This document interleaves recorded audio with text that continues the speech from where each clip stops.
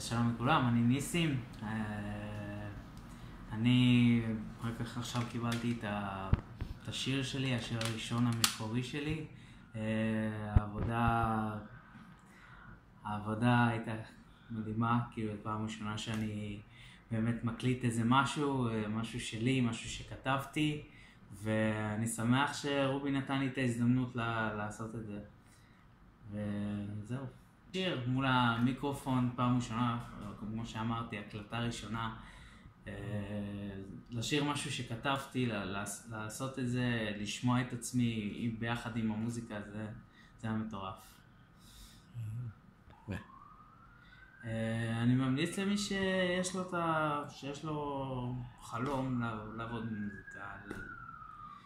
כן, לבוא לפה זה אחלה, אחלה אנשים, אחלה הפקה.